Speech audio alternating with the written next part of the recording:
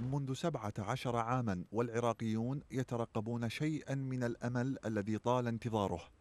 وبين بقايا أمل وترقب ويأس حذرت وزارة الكهرباء مما وصفتها بالمصاعب الكبيرة في ملف إدامة محطات التوليد وشبكات توزيع الطاقة في المرحلة المقبلة حيث كشف الناطق باسمها أحمد موسى أن الوزارة لم تتسلم أي مخصصات مالية لصيانة محطات التوليد وشبكات التوزيع.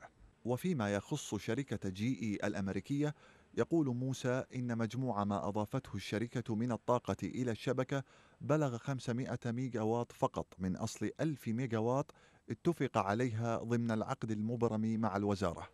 تحويل حصص محافظات من الطاقة إلى أخرى والخضوع لضغوطات مسؤولين في الحكومة ذرائع قدمتها وزارة الكهرباء لتبرير قلة ساعات تجهيز المواطنين بالتيار الكهربائي. فيما تقول لجنة الطاقة النيابية إن وزارة الكهرباء أفلست بسبب الأداء السيء لمسؤوليها الذين أقحموها في مشاريع دون جدوى اقتصادية حتى باتت عاجزة عن تسديد رواتب موظفيها. وكلما تسلم الوزارة مسؤولون جدد رددوا ذات الذرائع التي لم تعد تقنع العراقيين.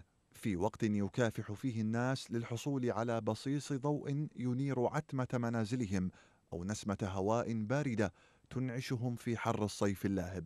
وزير الكهرباء السابق لؤي الخطيب قال إن إعمار قطاع الكهرباء في البلاد يتطلب 20 مليار دولار ونحو أربعة أعوام بعد أن أنفق العراق نحو 40 مليار دولار خلال 12 عاما على هذا الملف وفقا لتقرير حكومي صدر عام 2013 غير أن أغلب المحافظات لا تزال تعاني من انقطاع التيار الكهربائي لأكثر من 12 ساعة يوميا.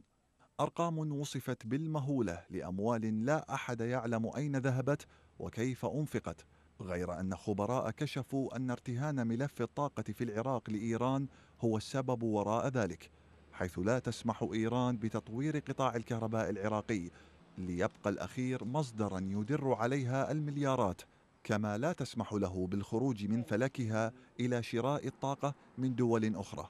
وفي هذه الدوامة يبقى العراقيون يعانون من ظلام الليل وحر الصيف اللاهب بينما تستمر الحكومة ومؤسساتها بتقديم الذرائع التي لم تعد تقنع أحدا.